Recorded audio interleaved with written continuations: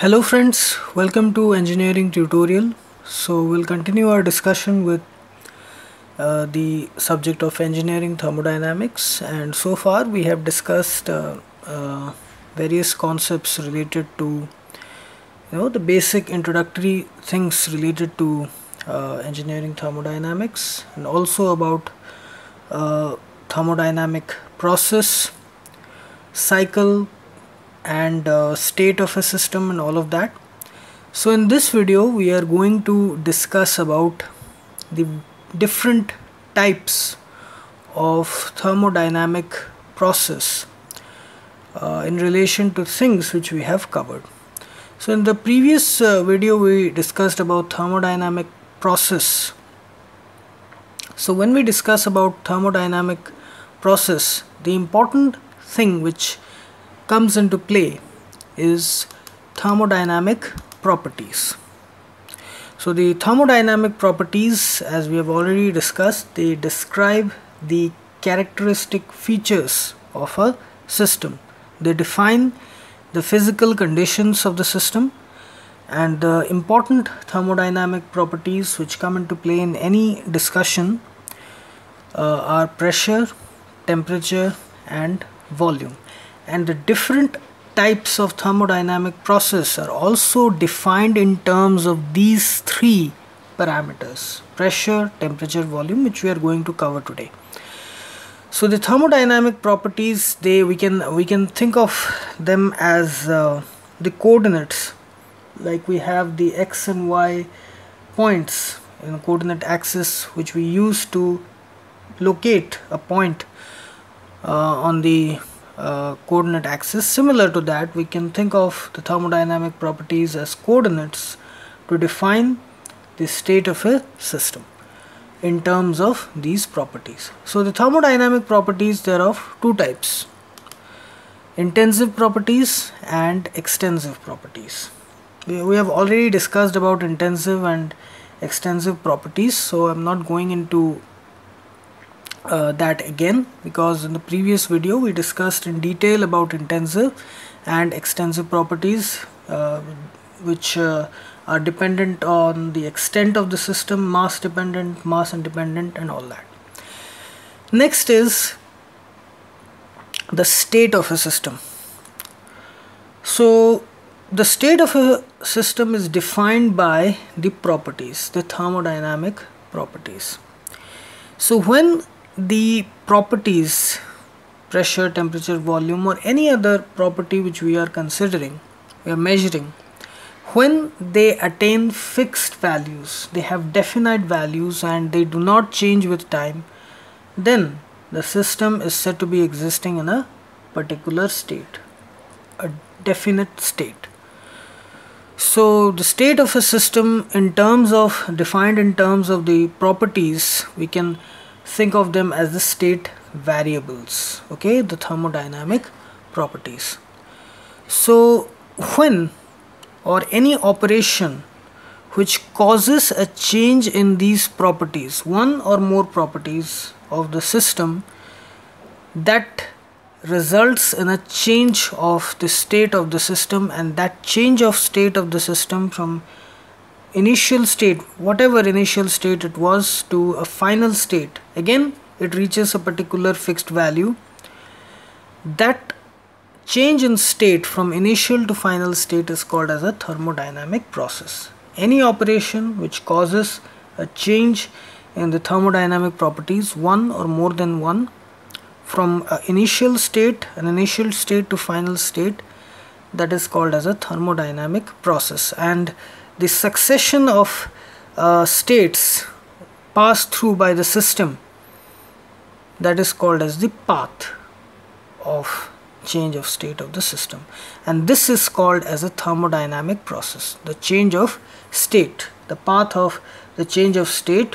When we define it when we specify it that change of state of a system from an initial state to final state is called as a thermodynamic process okay so here we can say this is a thermodynamic process here defined in terms of two variables pressure and volume at constant temperature T initial state of the system defined in terms of pressure and volume are PA and VA initial pressure and initial volume.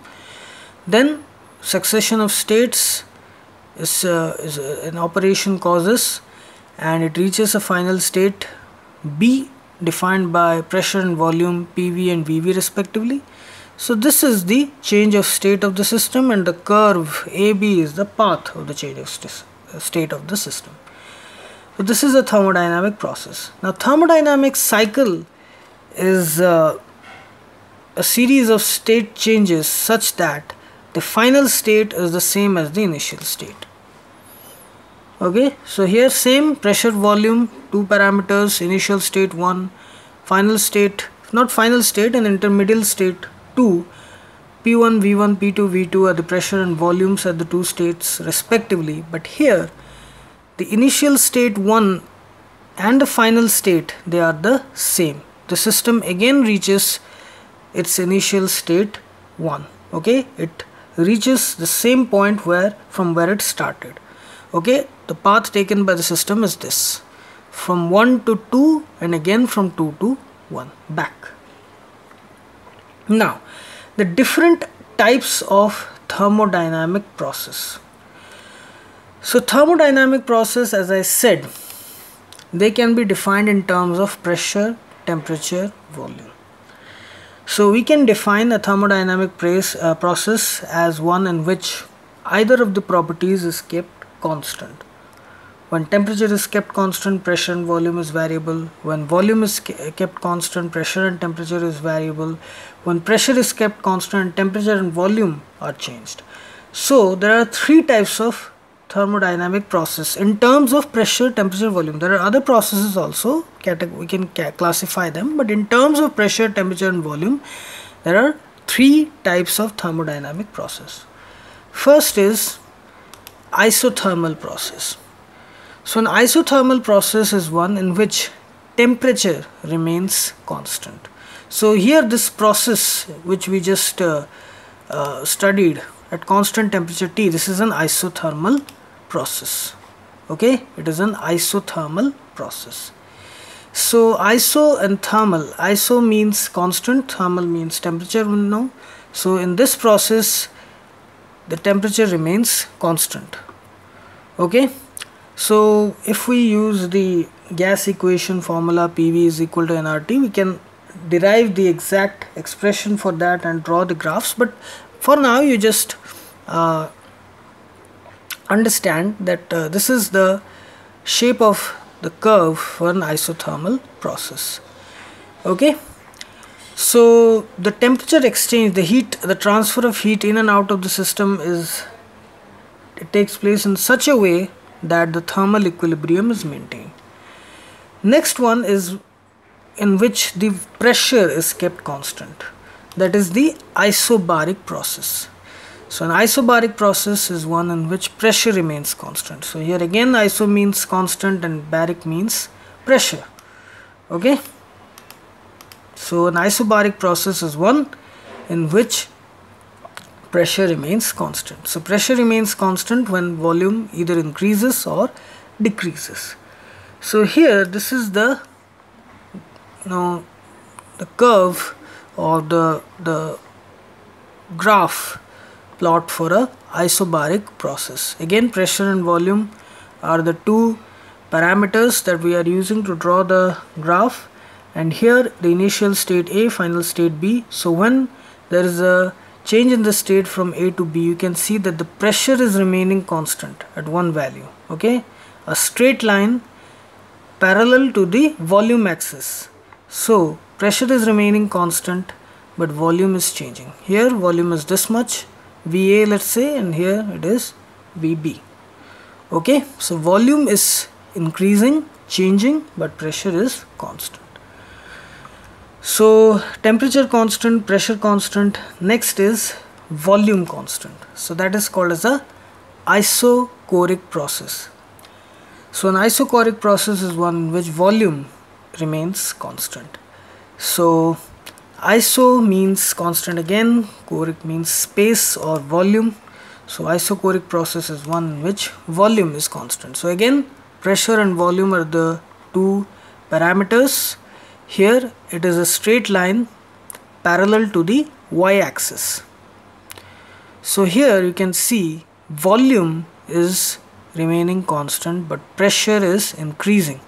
From initial state A to final state B pressure is increasing. Let's say here it is PA here it is PB so pressure is changing volume is remaining constant. Okay? So these are the three types of processes defined in terms of pressure temperature and volume temperature remaining constant isothermal process pressure remaining constant isobaric process and volume remaining constant isochoric process. Okay? So here are the different types of process defined in terms of pressure volume and temperature. So i hope you like this video and please subscribe my channel engineering tutorial for more such videos related to engineering science and technology. Have a great day. Thank you very much